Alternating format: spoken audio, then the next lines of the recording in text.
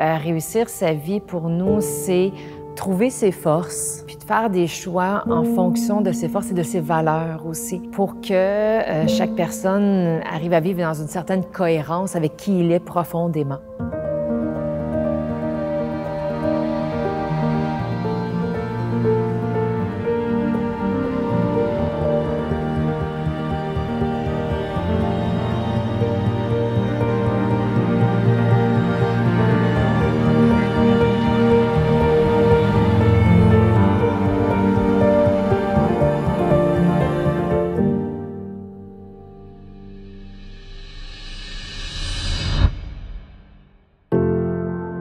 Apprendre à devenir heureux. C'est pas un objectif au bout d'une longue route puis qu'on a essayé plein de choses pour être heureux. C'est pas la fin d'un cheminement, le bonheur, c'est chaque jour.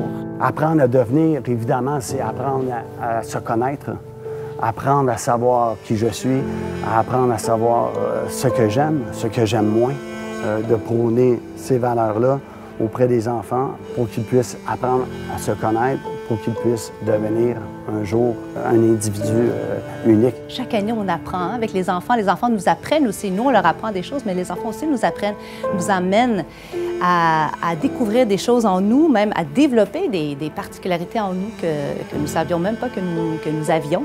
Chacune peut trouver sa place et, et devenir une citoyenne du monde.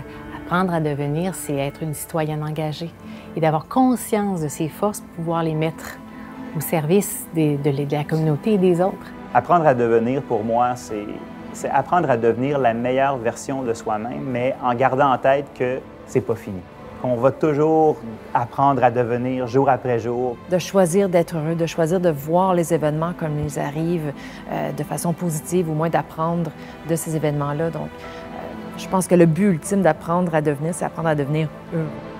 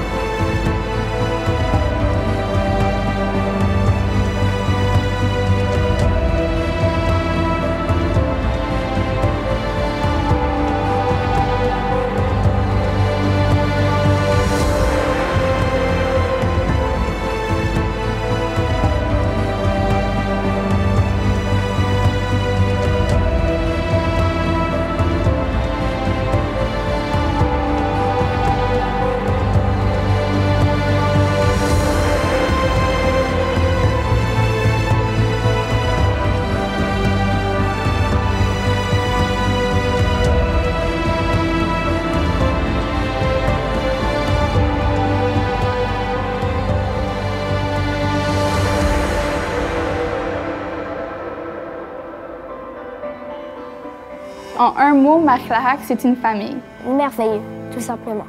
L'amour. Innovatrice. La merveille. C'est tout simplement humaine. Marie-Clarac, euh, c'est génial. Une grande famille et beaucoup, beaucoup de joie.